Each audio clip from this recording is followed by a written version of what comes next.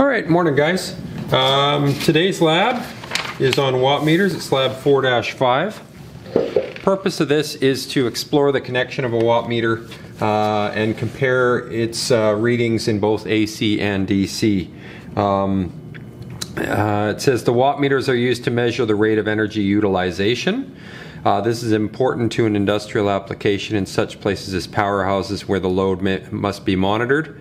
Um, as with any meter, a watt meter must be properly connected before it will give an accurate reading. This lab should also demonstrate the relationship between current voltage and power for a purely resistive load. So, as we've learned when it comes to connecting up a watt meter, there are polarities that are important to pay attention to in the potential coil and the current coil on each side.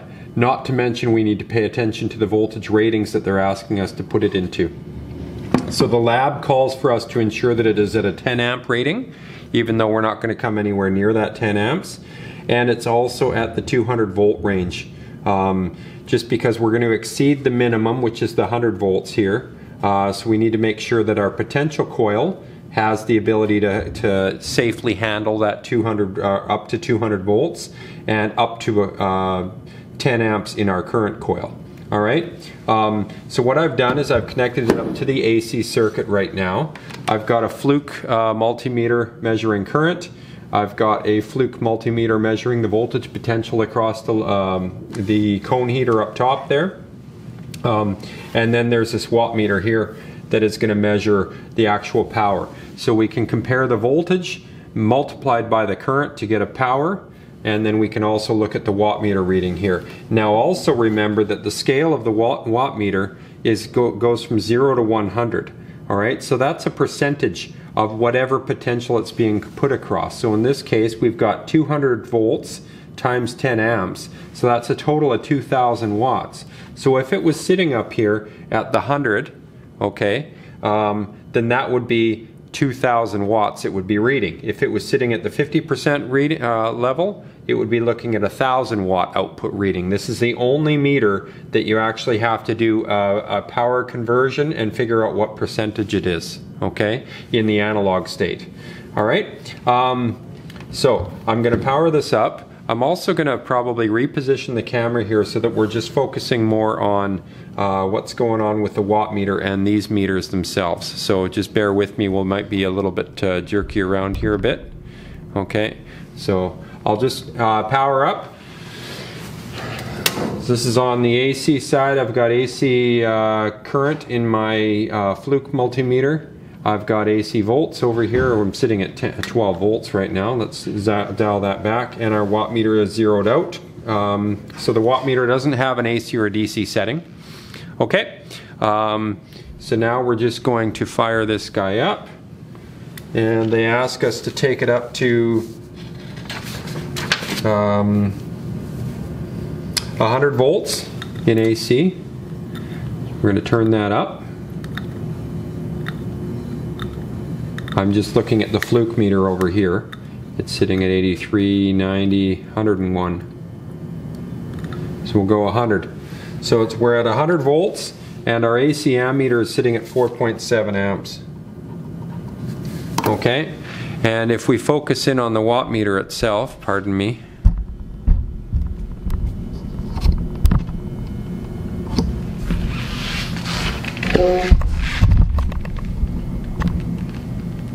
you can see that it is sitting at about the 24% range, somewhere around there. So 24% of 2,000. So if we did the quick math, uh, that's sitting at about 500 watts. Okay. And then they ask us to turn this back down.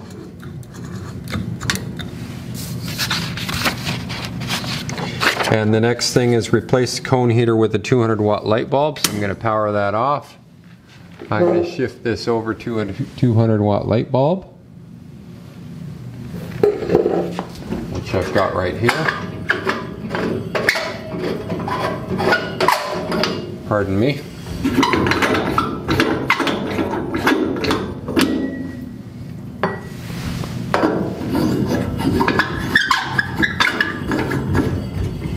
Okay, and I'm just moving the jumpers over into the, the light bulb setting.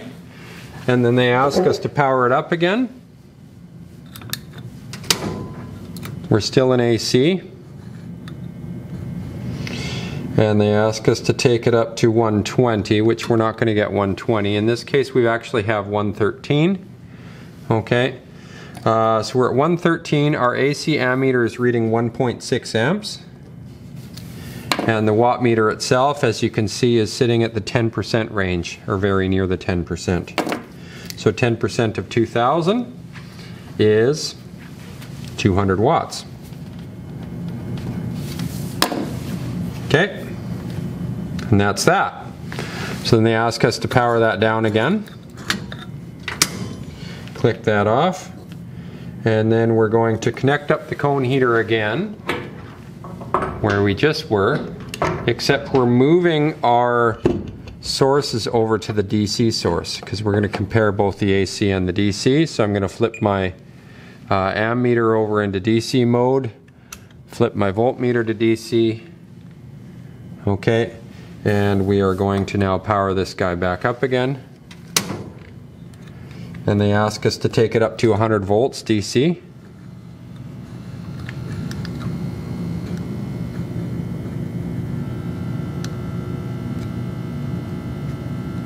Okay, so we're 100 volts DC and we're sitting at the 25% range again and my current here is 4.7 amps. Okay, uh, and once again, if we're looking at that 25% uh, of 2000, that's about 500 watts. Okay, and then I believe they ask us to, uh, well that's it. They don't ask us to hook the light bulb up, but I'm sure the light bulb readings would be exactly the same. So let me just, you guys can see that, that meter, okay? As I uh, dial it down, you can see the percentage sweep back down towards the zero.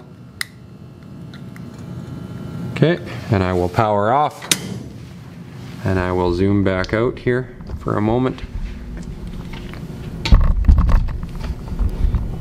Okay, so um, you can see just in doing that quick little lab there, uh, we connected up the watt meter. Uh, as long as I've got the polarities correct, uh, flipping them back and forth between AC and DC, the watt meter is pretty straightforward. The only, the biggest issue that students find when connecting up the watt meter is by um, getting opposing polarities in the coils. Uh, so forgetting to connect that asterisk to the same polarity. Um, and then once that's connected, uh, the AC and the DC values are exactly the same. Okay, so the watt meter is indifferent to it. These uh, fluke meters are going to me measure an RMS, which as we've learned in the sine wave uh, calculations, RMS is the same as DC, or the effective value of AC is the same as DC. So that's why this uh, watt meter is reading exactly the same for both. Okay, and uh, we'll discuss the results and conclusions of 4-5 in the Learning Hub. That's watt meters.